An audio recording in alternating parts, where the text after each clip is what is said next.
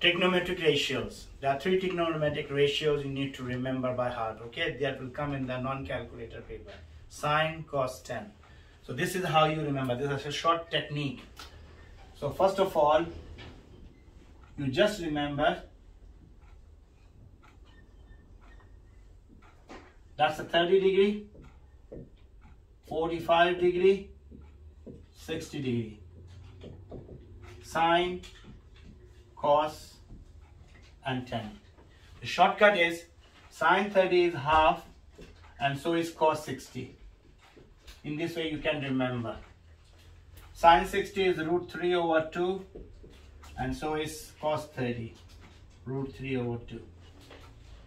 Sine 45 is root 2 over 2 and so is root 2 over 2. So in this way by x factor you can remember.